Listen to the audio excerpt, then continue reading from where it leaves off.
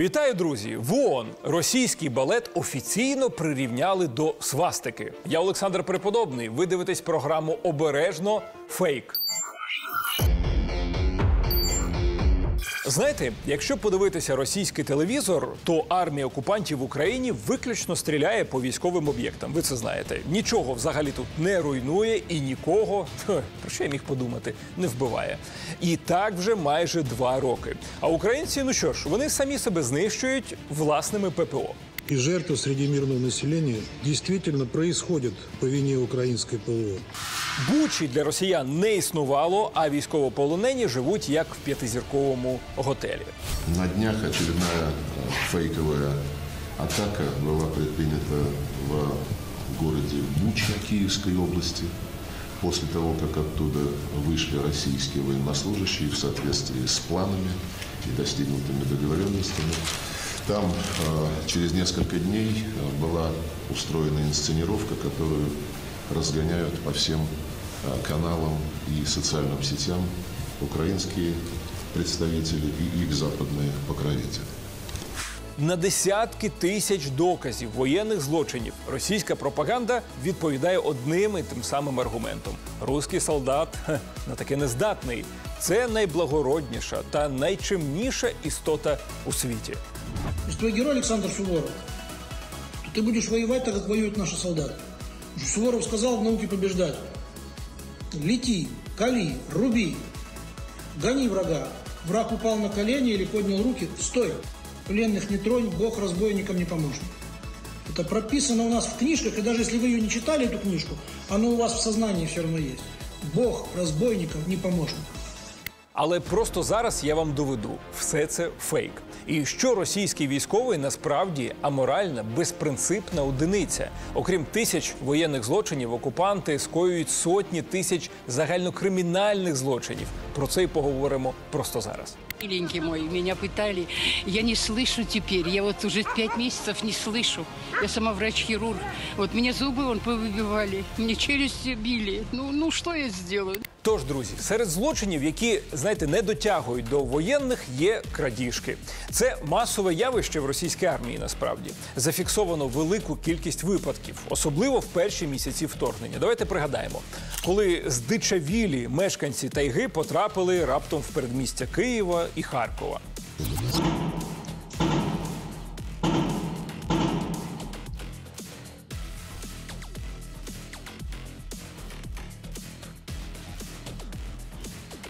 Мародеры просто.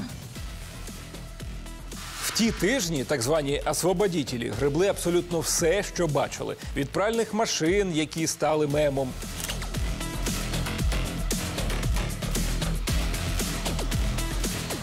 До собачих будок.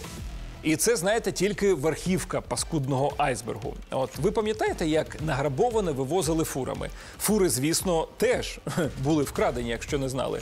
Мародерство було небачених масштабів, і Кремль це підтримував та навіть більше заохочував.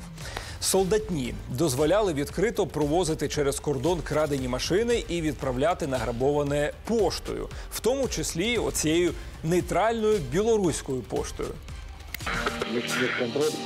Вообще тут война. И каждый погреб вскрывает, тут вина и все хохля. Вкусно? Да, хуй.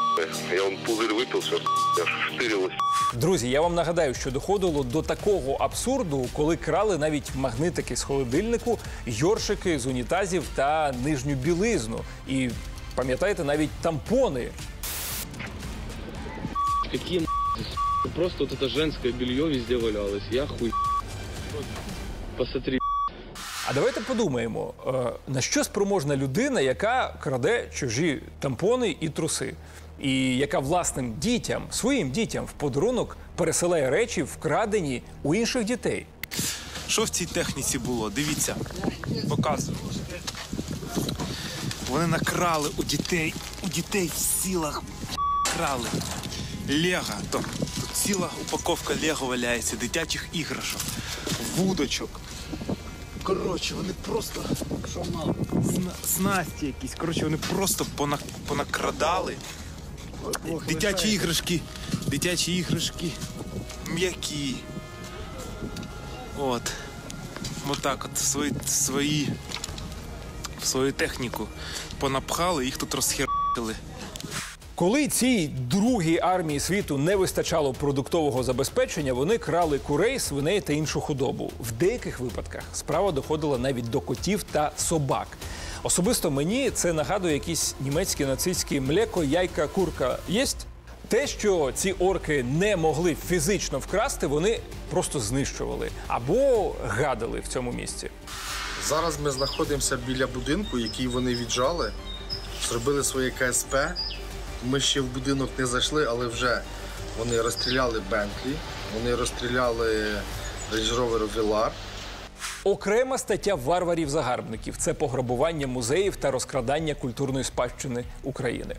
Прикро дивитися на це все, що блищить, все, що їх зацікавило, брали, тянули в кармани. Без поваги відносилися до людини, яка визволяла від фашизму Україну, Польщу. Чехословаччину. Оце можна кваліфікувати як воєнний злочин теж. Але багато прикладів вандалізму були тупо через людський фактор. Вибачте, е, в випадку з ними через звіриний фактор. Орден теж вирвали прямо по зверски просто отодрали. Выставка золота кладова, Двери здесь выловлены были. То есть просто э, экспонатов нет металлофоры, тоже ничего нет, остался только жертвенный камень. Під час окупації росіяни розграбували фонди Херсонського художнього музею імені Олексія Шовкуненка, Херсонського обласного краєзнавчого музею та художньої галереї імені Альберта Гавздинського у Новій Каховці. До окупованого Криму вивезли колекції іконопису 17-20 століть, українського живопису 19-20 століть, зокрема 297 творів живопису та графіки Гавздинського та роботи сучасних митців. Лише вдумайтесь, за один день, 1 листопада 2022 року, з території музею виїхали три фури та шкільний автобус із награбованим. Наступного дня виїхало ще дві фури. 3 листопада автобусом забрали залишки. За попередніми оцінками йдеться про 15 тисяч одиниць колекції було десь 70 грузчиків. Все, все, все, все, все погрузили і вивезли. Вивезли навіть документацію. Ми маємо зрозуміти, що російський солдат не може фізично діяти інакше в Україні, бо така сама двіжуха і в самій російській армії. Вони крадуть, вбивають, гвалтують, причому один одного. Після е, назначення вашого ставленника Апті Алаудінова Ваши бойцы сошли с ума. Они избивают нас, отбирают деньги у нас. Они грабят местное население, валят при этом все на нас. Э, мы не можем, мы не можем э, дальше сражаться так, плечо к плечу с вашими э, бойцами.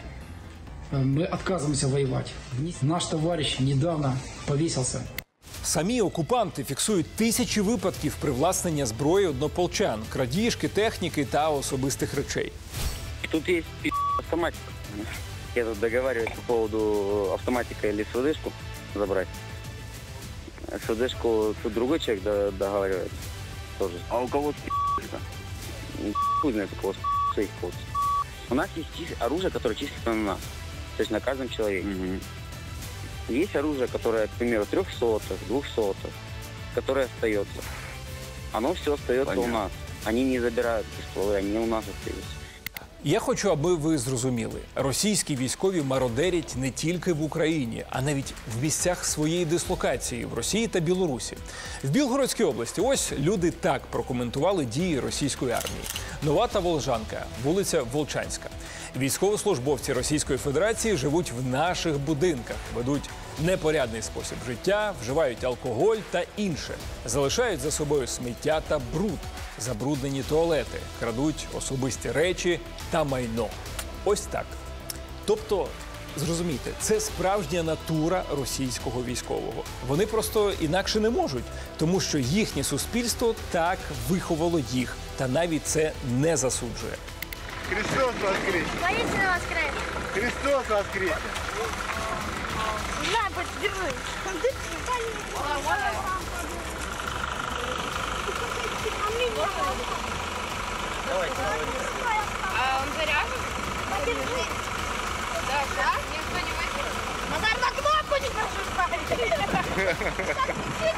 Може так е, на росіян повпливала армія? Я не знаю. Може, це така аура в їхніх кірзачах?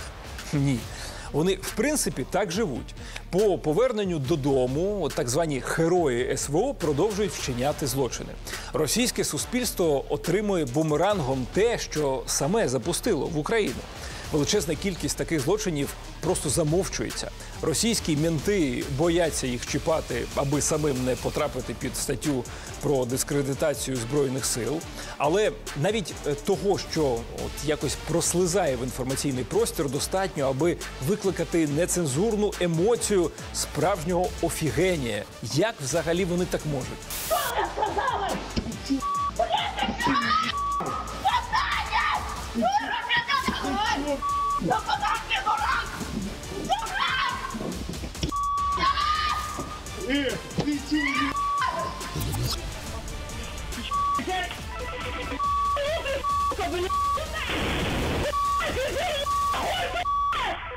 Тож російський солдат не просто спроможний вчинити воєнні злочини, він на це заточений.